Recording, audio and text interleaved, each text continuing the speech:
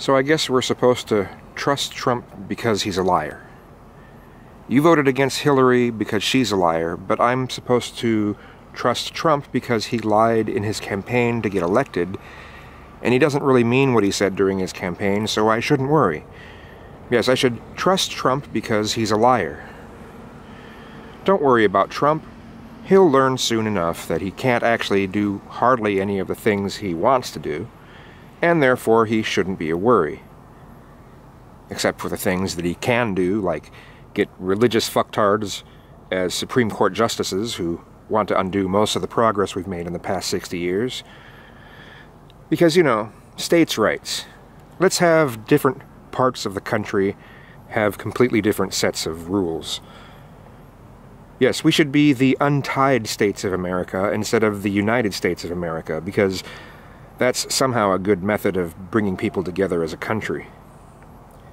But you know, nothing to worry about because he really just wants what's best for the country.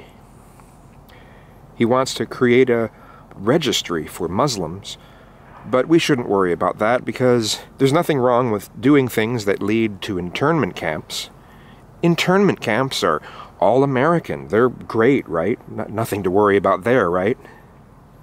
I suppose Megyn Kelly is just an SJW for speaking against a registry for Muslims. I guess she doesn't really care about Americans because Muslims aren't really Americans, or something like that, right? The Great Divider declares himself as the Great Uniter, because propping up the ignorant and uneducated, and in many cases the most unintelligent people, no matter how provably bigoted they are, is just fine.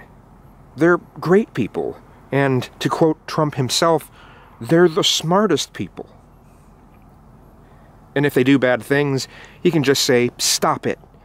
And that's enough to stop our country's bigotry ball that used to be underground from continuing to roll somehow. The words stop it are really powerful and they, they work because virtue signaling is very powerful. But as I said, I guess we should trust Trump because he's a liar. Because liars on the right, who align with bigotry that used to be underground, are much better than liars on the left who want things to be decent for everyone and not just straight white males. And on a social level, we're going to somehow stop black on white crime by demonizing black people more than we already have in the past. Because demonizing minorities brings us together more and stops minorities from demonizing the majority, somehow in some twisted alternate reality. The people who want revenge on the demographic that has most often been the one that oppresses minorities will somehow stop wanting revenge if we make their lives even worse than they, currently are. Somehow. Yes, Hillary is a liar, therefore Trump's lies are things that should make us trust him, because lies are only bad if the person promotes leftist values or something like that, right? But you know, we should just wait and see because the left has supposedly went full retard in their fears about Trump. Hate crimes going up, well, that's meaningless because there's actually no such thing as hate crimes, and we can't blame those hate crimes on the cultures that were usually underground before Trump rose into popularity. Trump has nothing to do with that somehow because he said the phrase, stop it.